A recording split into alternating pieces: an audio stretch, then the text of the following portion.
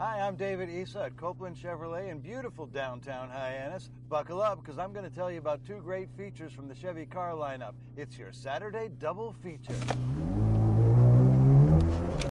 Winter is coming. Thank you, all my fans of Game of Thrones, for getting that reference.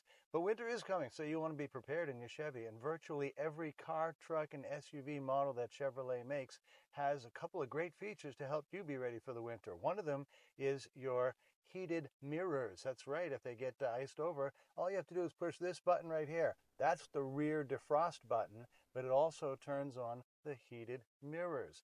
And your heated steering wheel the button right there on the steering wheel will turn that on for you. And if you use a remote start, the heated mirrors and the heated steering wheel will automatically come on when the temperature gets down around 50. So be ready for winter in your brand new Chevy and join me next week for another Saturday double feature.